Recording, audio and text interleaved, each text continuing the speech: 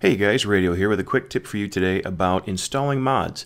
Now, I don't use very many mods. As a matter of fact, I have two running right now, and I'm about to install a third. And I figured I would show you guys how to do that because I know some people have trouble. It's very easy.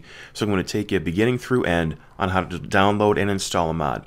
Now, the mod I'm going to get is actually from Simtropolis, and it's a natural parks mod. We have some screenshots down here, and essentially what the author has done is he's taken the parks and they look normally like this with this astroturfy looking green mess.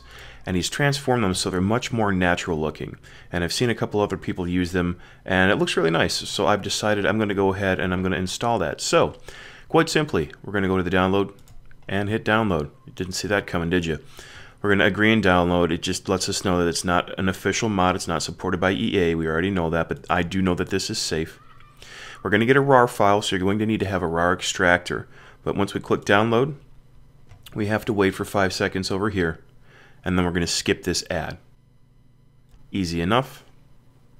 Well, it's easy enough when you click the button, right? so now we've got our download going. I have this download set to go right to my desktop, so I'm going to go to my desktop here, and you can see it's right up here. And I'm going to double click this to get the this is the package file. The text, if you double click the text, what it's going to tell you is Steve Manx is the author, which thank you very much, by the way. This is an awesome looking mod. And it tells you what it is, what it does, disclaimers, known issues, things like that. So there's useful information if you want to check that over. But all you have to do is grab the package. And I, I like to do this. The easy way I do is I'm just going to pull it right to my desktop, drop it off. From here, I'm going to go into my computer I'm going to go into my C drive, which is filling up quickly because I only have a 500 gig solid state. I just ordered a 1 terabyte backup, thank God. So I'm going to go into my C drive, and I know that my Origin games, my Origin folder is in my programs file, the 86.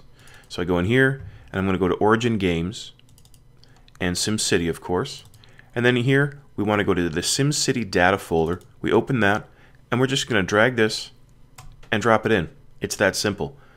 Close the window. You're done. From here, all you have to do is start the game, the mod will be there, and your parks will look better. I hope you guys found this a helpful hint, and if you could be so kind as to leave a comment in the section below to let me know what other things you might like to see.